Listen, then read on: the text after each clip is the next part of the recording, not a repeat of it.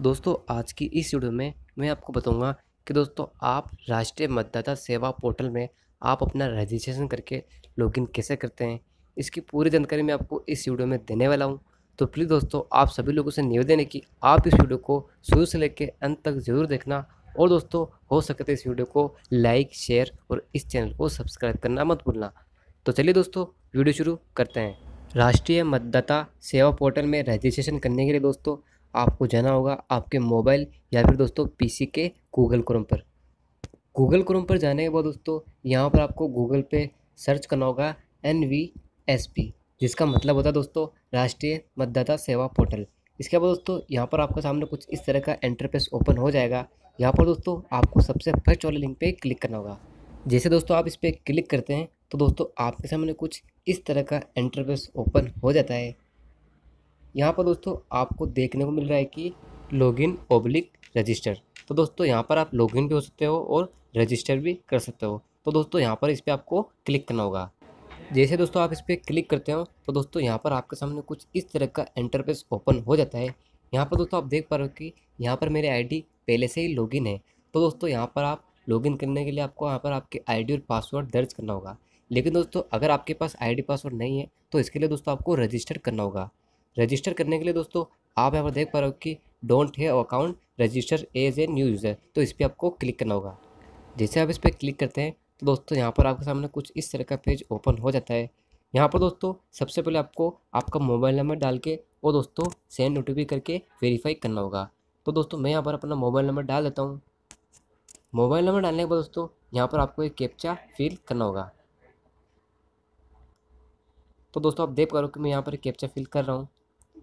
Captcha fill करने के बाद दोस्तों, यहाँ पर आपको सेंड ओटीपी पे क्लिक करना होगा। जैसे आप सेंड ओटीपी पे क्लिक करते हैं तो दोस्तों, यहाँ पर आपके मोबाइल नंबर पर ओ आ जाएगी। तो दोस्तों, वो ओ टी यहाँ पर आपको दर्ज करनी होगी। ओटीपी दर्ज करने के बाद दोस्तों, यहाँ पर आपको वेरीफाई पे क्लिक करना होगा। तो दोस्तों, आप देख पा रहे हो कि यहाँ पर मोबाइल नंबर वेरीफाइड हो चुका है। उसके बाद दोस्तों, यहाँ पर आपको ई पी नंबर दर्ज करना होगा। ई पी नंबर दोस्तों, इसका मतलब होता है कि आपको वोटर आईडी कार्ड नंबर दर्ज करना होगा। अगर आपके पास नहीं है तो यहाँ पर आप I don't have E P S number पर क्लिक करके इसे ओके कर सकते हो। उसके बाद दोस्तों, यहाँ पर आपको आपका फ़र्स्ट नेम दर्ज करना होगा। तो दोस्तों मेरा यहाँ पर फ़र्स्ट नेम है प्रकाश। तो मैं दोस्तों, यहाँ पर प्रकाश दर्ज कर लेता हूँ। फिर दोस्तों, यहाँ पर आपको आपका लास्ट नेम दर्ज करना होगा। अगर दोस्तों, आपका लास्ट नेम नहीं है तो दोस्तों, आप इसे खाली भी छोड़ सकते हो। उसके बाद दोस्तों, यहाँ पर आपको आपकी ईमेल आईडी दर्ज करनी होगी।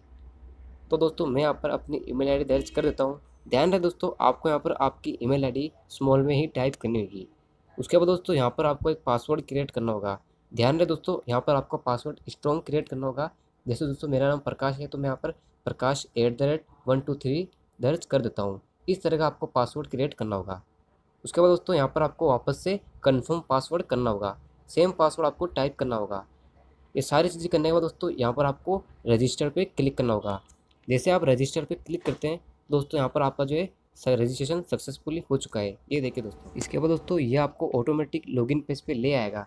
यहाँ पर दोस्तों, आपको, आपका यूज़र नेम आपकी ईमेल आईडी होगी और दोस्तों पासवर्ड जो भी आपने वहाँ पर पासवर्ड क्रिएट किया था तो दोस्तों, वो आपका पासवर्ड होगा। तो दोस्तों, यहाँ पर आपको आपकी ईमेल आईडी और पासवर्ड दर्ज करके और दोस्तों, ये कैप्चा फिल करके लॉगिन पे क्लिक कर देना होगा। तो जैसे दोस्तों, मैं यहाँ पर ये कैप्चा फिल करके लॉगिन पे क्लिक करता हूँ तो दोस्तों, आप देख पा रहे हो कि मैं राष्ट्रीय मतदाता सेवा पोर्टल पे लॉगिन हो चुका हूँ। और दोस्तों, यहाँ पर जो है, वो लॉगिन और रजिस्टर का ऑप्शन था, वो हट चुका है। तो दोस्तों, आप इस तरीके से रजिस्टर करके लॉगिन कर सकते हो और दोस्तों, इसकी सेवाओं का लाभ उठा सकते हो। आशा करता हूँ कि आपको वीडियो पसंद आया होगा। तो प्लीज़ दोस्तों, आप इस वीडियो को लाइक, शेयर और इस चैनल को सब्सक्राइब करना मत भूलना।